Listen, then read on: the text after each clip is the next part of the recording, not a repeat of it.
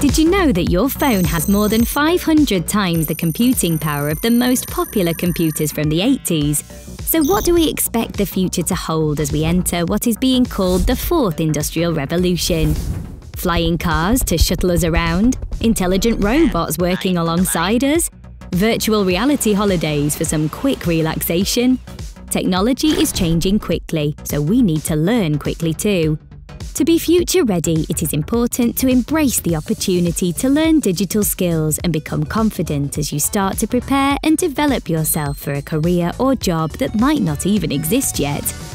No matter where you study or what job you do, even if you are not working in computing, you will need basic digital skills. They are viewed as core competencies needed by everyone and equally important as communication, teamworking, and other employability skills. Basic digital skills are the first steps to getting online, such as using a laptop or basic online activities like sending emails, searching information, and filling in forms like applications and accessing services online.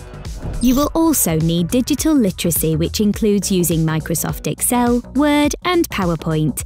These are used for work across all sectors such as business, public services, health, education, and hospitality.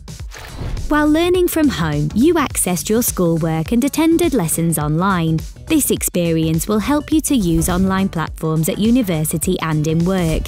Employers also need staff who can use social media and adhere to business data protection. Now is the time to develop both digital skills and digital literacy while you're still at school or college to make yourselves digitally literate, and there are many ways to achieve this. For example, you could gain experience using Microsoft Excel and PowerPoint for your schoolwork. Sign up to one of the many free online digital skills courses available, subscribe to digital blogs, or experiment using different forms of media and technology. Make sure you manage your online identity while socialising with friends and family, as future employers will be able to see your public posts.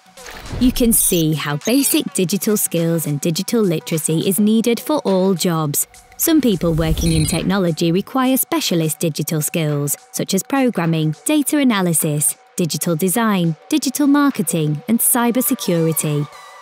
If you are doing an IT course at school or college, you may already be learning coding. To find out more about these careers, go to the National Careers Service website. In a 2019 Open University report, 9 out of 10 employers said they have a shortage of digital skills in the workplace. Make yourself more employable by developing these skills. With the increasing use of artificial intelligence, big data, 5G, and the Internet of Things, the demand for digital skills will increase. The workplace is also changing, you could become a digital nomad, earning a living travelling the world and carrying out your business on a beach, in a cafe, or on a mountaintop, all via your laptop. With wide ranging career opportunities and great pay for those with digital skills, embrace the opportunity to learn as many as you can as you look to build a career for tomorrow. Check out the Aspire Higher website at aspire-higher.co.uk, where you can find a video on digital skills and go to the resources page for e learning modules on digital skills.